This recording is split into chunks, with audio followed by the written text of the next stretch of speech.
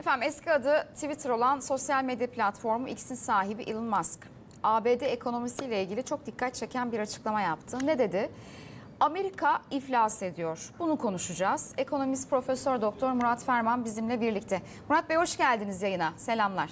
Semih Hanım merhaba, iyi yayınlar diliyorum. Teşekkür Sağ olunuz. Şimdi bu açıklamayı bir takipçisinin ABD ulusal borcunun e, faiz ödemelerinin arttığına dair haberi paylaşması e, üzerine yaptı Musk. Şimdi o yazıya göre ABD'nin gelir vergilerinin %76'sı borca gidiyor ve Amerikan rüyası e, acaba sona mı eriyor sorusu akıllara geliyor. Siz ne dersiniz? Yorumunuz nasıl? Evet Semih Hanım ilk önce şunu söyleyelim. Mekanın sahibi gelmiş, kendi mekanında açıklama yapmış. Biliyorsunuz e, eski adı Twitter olan X e, sosyal medya platformunun yeni sahibi Elon Musk. Elon Musk dünyanın en zengin insanlarından bir tanesi. Çok enteresan bir girişimci. E, hakikaten çok başarılı olduğu birçok kulvar yanı sıra başarısızlıklarıyla da tanınıyor. Geçtiğimiz e, dönemlerde de gene hatırlanacağı gibi e, çok büyük bir tartışmanın e, öznesi olmuştu. Neydi o tartışma?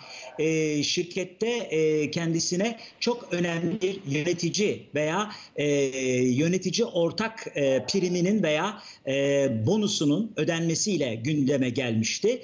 E, Elon Musk e, kelimenin e, en basit anlamıyla egzantrik tavırları ve ilginç çıkışlarıyla tanınan bir girişimci.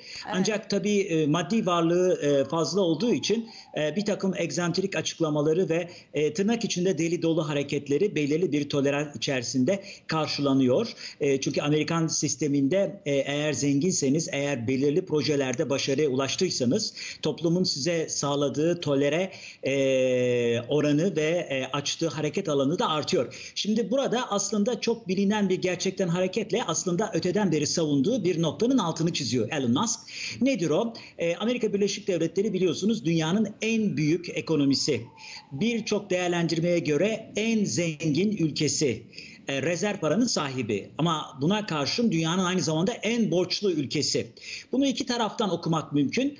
E, bir kere herkesin e, dolar alabilmek ve Amerikan e, cinsinden tahvil alabilmek için yarıştığı e, Amerika'nın en büyük rakibi olarak kabul edilen Çin'in e, ulusal zenginliklerini ağırlıkla dolar e, olarak hala tutmaya devam ettiği bir e, senaryoda veya bir görünümde e, hiç şüphesiz e, Amerika'ya herkes borç vermek için yarışıyor. Yani Amerika'nın borçlu olması doğrudur. Kağıt üzerinde aslında bir kırılganlıktır. Buna belirli bir faiz öder ama ödediği faizin e, ödendiği e, parayı da kendisi yaratmak, ortaya koymak imkanına sahiptir ve buna sadece dünyada Amerika Birleşik Devletleri sahiptir. Dolayısıyla bu anlamda garip bir ikilemle karşı karşıyayız. Amerika dünyanın en borçlu ülkesidir ama herkesin borç vermeye can attığı, devam ettiği güçlü dolar sendromu hakim olduğu müddetçe hele şimdi biliyorsunuz Trump senaryolarıyla kriptolarla beraber güçlü dolar sendromu da el ele gidecek. Bu gibi ortamlarda Amerika vergi e, faizini ödemeye devam ediyor. Çünkü Amerika dijital veya matbaada e, para, dolar basmaya devam etme yetkisine Peki burada sahip tek ülke. söylediği Üstelik- Amerika iflas ediyor açıklaması bir yere dayanır mı? Hayır yani şöyle e, biliyorsunuz e, daha evvel bir e, Amerika'nın merkezi bir alanına kurmuşlardı. Her dakika borç yükümüz ne kadar artıyor diye. Semih Hanım bu daha ziyade e, Amerika'da devletin küçülmesi ve kamu harcamalarının özellikle e, gelir vergisinden elde edilen fonlarla karşılanmasına e, muarız olanlara, karşı olanların bir e, şeydir, e, görüşüdür. E, bir yaygın görüşe göre ki Elon Musk bunu gayet açık ve net olarak e, kendi deli dolu, e, biraz evvel e, çizmeye çalıştığım portresine uygun bir e, e, şeyde açıklıyor, e, usulde açıklıyor. E, bunlara göre vergi e, hele iş yapandan, girişimciden alınan vergi boşa harcanan, bürokratlar tarafından çarçur edilen, e, böyle borç alınarak, gereksiz yerlere plase edilerek girişimcinin de sermayesinin önüne çıkan bir durumdur. Bu aslında orijinal bir görüş değil. 18. yüzyıldan beri değişik iktisat teorilerinde yerini buluyor. Yakın Amerikan tarihinde Başkan Reagan, efsane Başkan Reagan ne demişti? Bir tek düşmanımız var. Büyüyen ve daha büyüyen hükümet kamu. E, kamudaki harcamaların e, borçlanarak karşılanması ve buna faiz ödenmesi özellikle gelir vergisine karşı çıkan bu zengin kesimi, girişimci kesimin öteden beri kategorik olarak sergilediği bir durumdur. İşte e, şeyde e, Elon Musk da e, bu tweet'i bir başka Japon maslah, e, mahlaslı bir tweet'i e, tekrar e, kullanarak e, bu noktaya bir kere daha dikkat çekmeye çalışmış. Yoksa e, tabirimi mazur görün yani e, borçlun borcun faizinin ödeneceği paranın e, matbaası Amerika'nın elinde.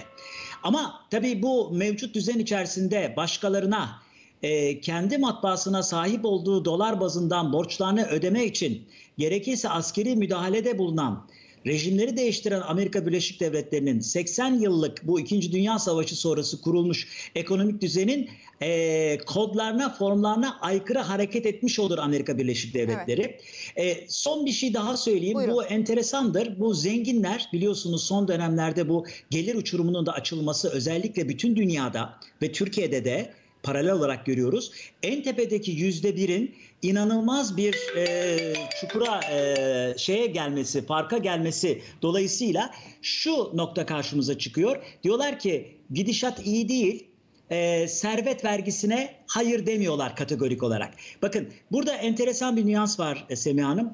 Diyor ki servetimden vergi alabilirsiniz ama gelirimden vergi almayın. Çünkü ben bu geliri tekrar yeni imkanlar, yeni katma değerler e, oluşturmak için en verimli şekilde kullanacağım. Eğer siz bunu vergi olarak alırsanız bunlar onların deyimiyle söylüyorum beceriksiz bürokratlar, ferasetsiz politikacılar ve e, tırnak içerisinde e, kamucu e, teknokratlar tarafından gereksiz şekilde kullanılacak, heba edilecek, Evet. borçlandırılacak vesaire. Bunun bir paralel okuması da biliyorsunuz Amerika Birleşik Devletleri'nde son yıllarda birçoğumuzun hala garip bir anlayışla veya zor anlayacak şekilde izlediğimiz şey şu. Amerika Birleşik Devletleri'nde biliyorsunuz hep e, borçlanma yetkisi e, bir yere geliyor tıkanıyor. Deniliyor ki e- eğer kongre müsaade etmezse Amerika Birleşik Devletleri'nde kamu daireleri kapanacak, kütüphaneler hizmet edemeyecek, parklar çalışmayacak ve bu da oluyor. Çünkü cumhuriyetçiler e, diyorlar ki devletin küçülmesi lazım. Devlete karşılar. Sağlık sisteminin örneğin sosyalizasyonuna karşılar. Peki. Diyorlar ki becerikli olan daha çok kazanır, az becerikli olan daha az kazanır ve bunun e, karşılığını yaşar. Yani buradaki ideolojik ayrım Elon Musk gibi girişimcilerde daha böyle zecri, daha böyle deli dolu, daha açık ifadelerle karşımıza çıkıyor. Dikkat ederseniz Elon Musk borçlanmayalım falan demiyor. Elon Musk diyor ki aldığınız borçlara ödediğiniz yani harcadığınız paraların faizi e, bizden topladığınız gelir vergisinin üçte ikisi buraya gidiyor diyor. Peki. E, esas itiraz ettiği bu.